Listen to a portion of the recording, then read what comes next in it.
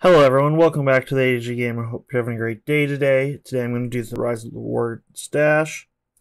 Just see how many it takes to get till I get to the uh, special unit.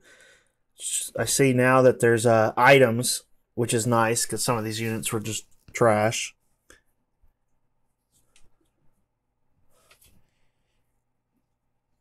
Let's draw again.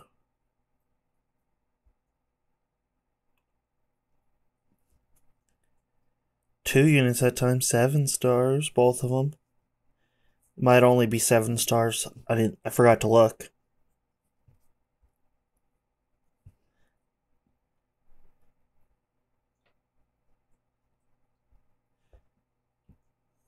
Ooh, you can actually get crowns on this too.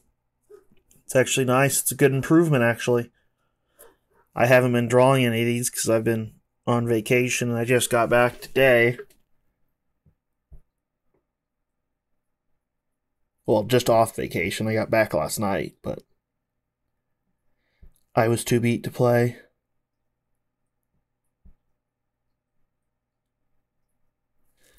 Let's see what it, Lancelot. Hmm. Forgot about that unit.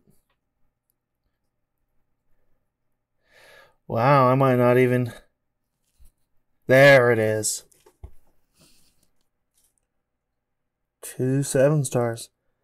Alright, well that's where I'm going to end this video. Hope you guys enjoyed it. Um, hope you guys get lots and lots of crowns. And as always, take care.